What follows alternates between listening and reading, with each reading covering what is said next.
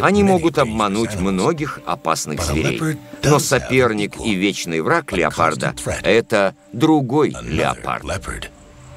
Их враги, львы и гиены, жестокие и шумные. Семья близнецов выжила. Котятам чуть больше года. Они подростки. Их мама должна бы искать себе пару, но ее отвлекают. Антилопы гну вернулись домой. Она оставляет котят почти на весь день. Подростки не забыли о бабуинах, львах и гиенах и прячутся на дереве.